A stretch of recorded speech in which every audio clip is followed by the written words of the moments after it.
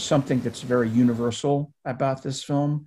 Um, it really touches the human spirit um, and and and gives a point of view that most people really don't see. Michael Rosen is the executive producer of Wind Riders, a documentary featuring Richard Abruzzo and Carol Rymer Davis, the World Championship gas balloon racing team, as they're determined to recapture their title in the oldest aviation race, the Gordon Bennett Cup.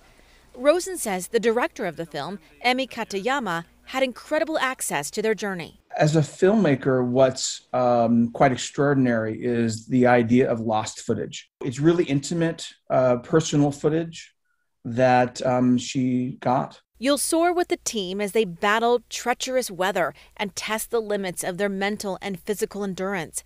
The film's crew describes Richard and Carol as making no compromise in their quest for the world title and they pay a tragic price for doing so. She found the opportunity to tell their story that really has never been told before in a very unique and personal way, and take that um, unfortunate, tragic event, um, but also uh, and tell the story, but also find inspiration behind it, and really underscore the passion that all balloon pilots have for the love of ballooning. You have to push the balloon to its absolute limits. You have to push yourself to the absolute limit. Wind Riders also follows the journey of Bill Hughes, a former Navy pilot who shares his passion for the sport of hot air ballooning.